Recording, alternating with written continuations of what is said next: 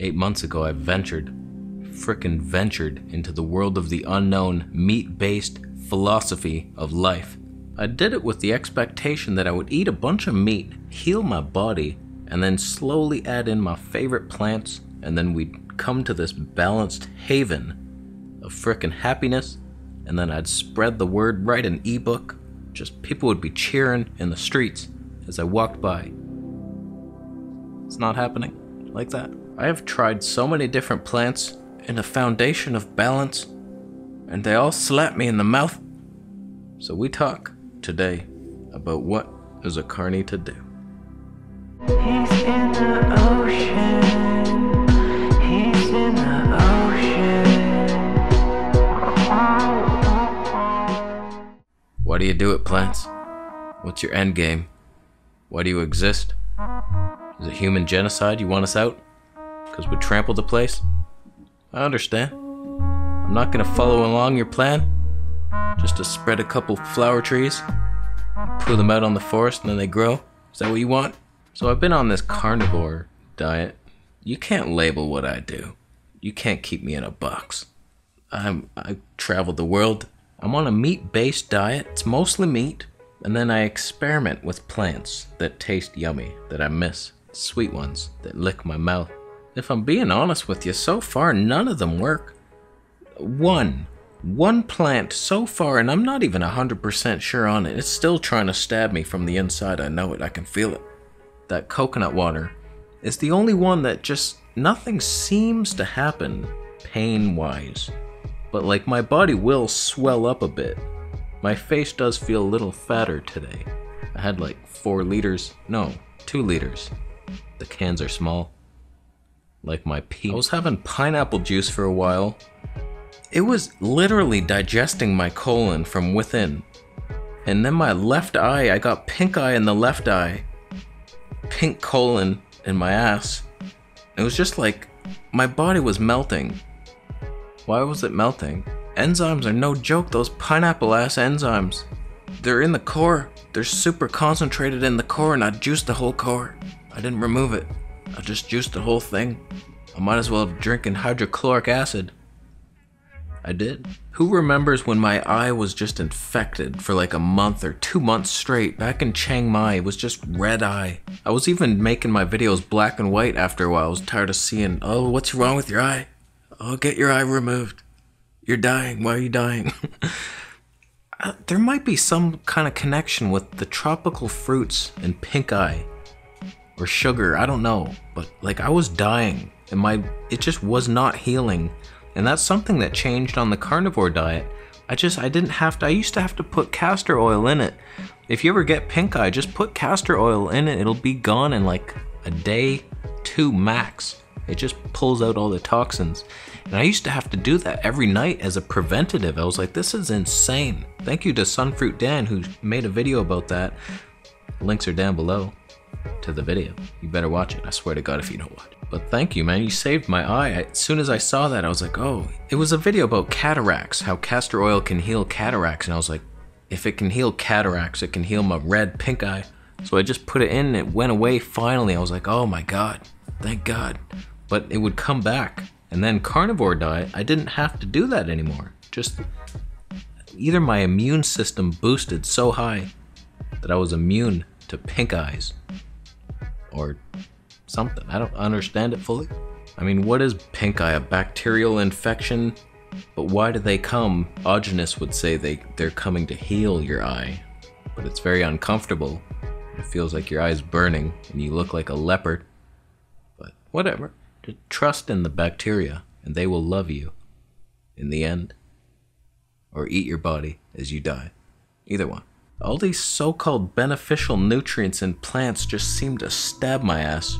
I had mushrooms. I was eating mushrooms, little bits. One mushroom I started off with, and I raised up to three. I might as well have been eating windmills. They're just spinning, propeller making wind in my body for generating heat for mole rats. Then they tran how do they get it? How do they get the heat? Why are they using my body as a conduit? That's the real question here that we have to be asking ourselves.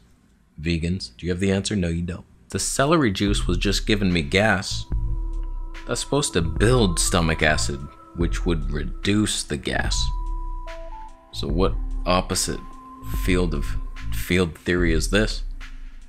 This is fusion technology erupting in the parallel universe. I don't know about you, but I thrive on a diet of cow tongues and coconut water.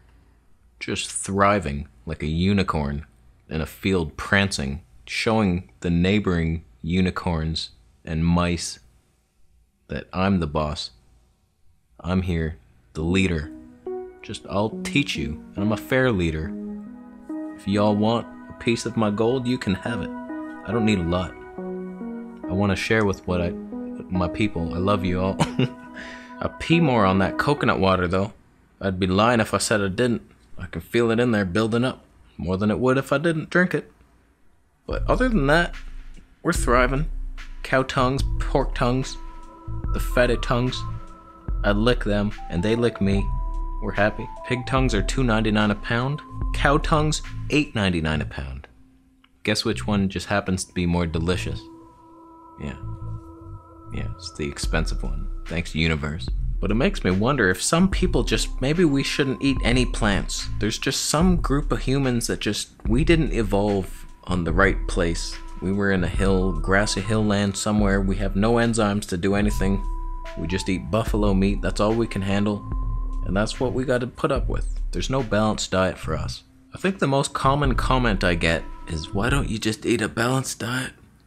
Please, God, eat the balance. You need the balance. Why aren't you doing it? The more balanced I eat, the more windmills in my ass, tearing the place up. I can't. I've tried. Whole fruit, fruit juice, vegetable juice. I'm afraid to even try a bean or a nut. That's just no. I've tried oils, they seem to clog up my nose. I like being free like a minotaur. You can't take that from me. So I don't know what to tell you. I mean, something gave me like crippling depression for the last week. I don't know what happened. If it was just like a food reaction, it could have been that pineapple. Like, seriously, I was just like doom and gloom set in. I was like, what the hell happened? It felt like before I left Thailand. And I'm back here in Toronto and I'm just like, oh my god, I don't feel any different. I was like, what the hell's going on? I was depressed, physically sad. My life is amazing. I have the best life ever. And I was just sad, sitting here, bored, tired. Like, it feels like it's a reaction to a food. Like, why would I feel like that? So, I don't know that I want to experiment anymore with these plants. They ain't get me anywhere. So, I just might go on the carny. I might even phase out that coconut water. I could be on cloud 15. I'm only on 7 right now. I want to climb those clouds.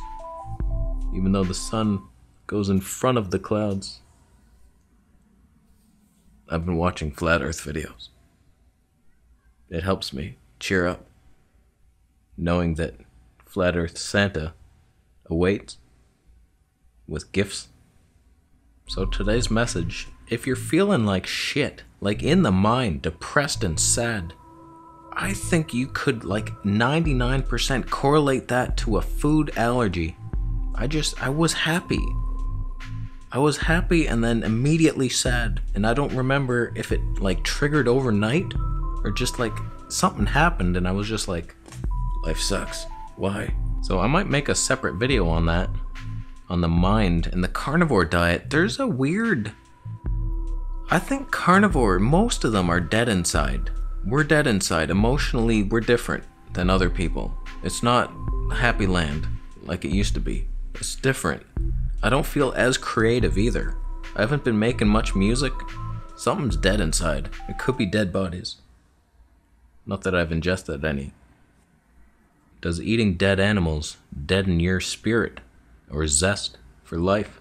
Is the real question that we have to answer. It's a real possibility. I heard Mikhaila Peterson said something about it where she's just like emotionally numbed and she has been for a while and then she's trying to regain that back and I think I feel it. There's something lacking. I don't know what it is, but I've always been like that, apathetic, kind of just emotionally numb.